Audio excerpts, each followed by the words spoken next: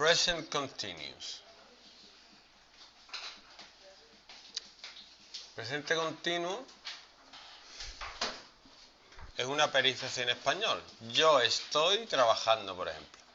Bueno, vamos a poner algo gracioso. Yo estoy estudiando. Por ejemplo. Se forma con el sujeto más el verbo to be, and, is o are, más el verbo más ing. Otra vez, ¿te lo sabes o no? No, no, a media no. ¿Te lo sabes no te lo sabes? ¿Eres tío o tía? A media.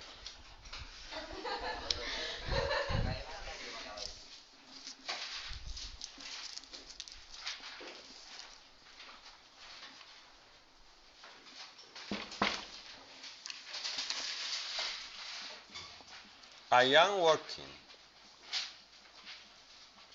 Yo estoy trabajando. El verbo to es ser o estar. Yo estoy trabajando. Y el ing es el gerundio. El gerundio es el que termina en endo.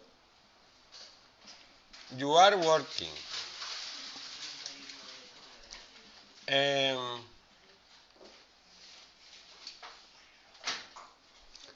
una de las cosas de las que hablan los psicólogos cuando hablan del aprendizaje es, lo te estoy hablando, es de la mentalidad que tú tienes cuando estás aprendiendo. Tienes dos opciones, tener la mente abierta, con lo cual te quedas con todo lo que pasa, o tener la mente cerrada. Si tú ves una película y te gusta, te acuerdas. Si no te gusta o te aburre o no es de algo que tú creas que te interesa, no te acuerdas, la olvidas. Pues esto es lo mismo. Esto lo pueden explicar 500 veces. 700 veces, 2000 veces, que si no queréis aprenderlo no lo vais a aprender. ¿Mm? Es muy triste dedicar tiempo a gente que realmente no quiere aprender. Cuando una persona que quisiera aprender, lo aprende a la primera. El que quiere lo aprende la primera, el que no.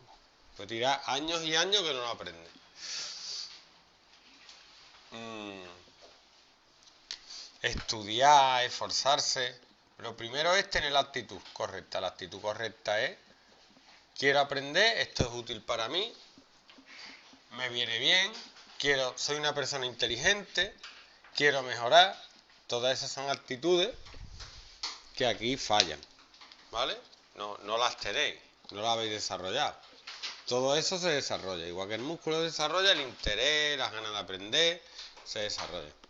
Si la tuvierais, no estaríais aquí y nos habrían quedado 5, 6, 7, 8 asignaturas. Y no tiene nada que ver con lengua, matemática, inglés, francés. Tiene que ver con el interés que yo tengo por las cosas. Si algo me interesa, como el móvil, aprendo a manejarlo rápidamente. Si algo no me interesa, como el inglés, nunca lo aprendo. ¿Vale? Es el mismo cerebro el que aprende, el vuestro. Solo que en algunas cosas ponéis interés y en otras no.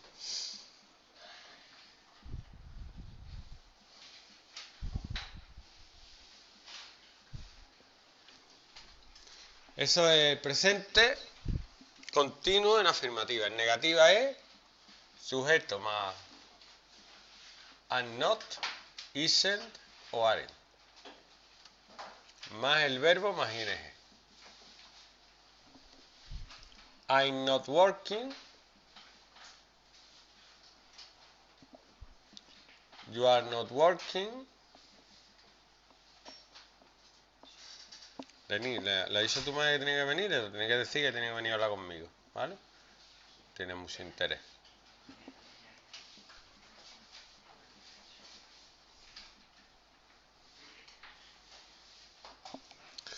Tu, tu, tu, tu, tu, tu, tu, tu, tu, tu.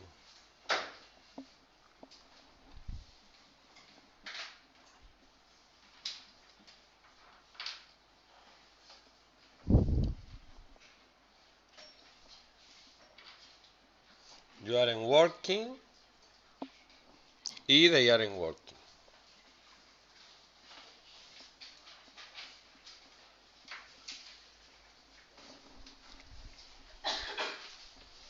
Tiene que estar solo, está todo el día fregando suelo.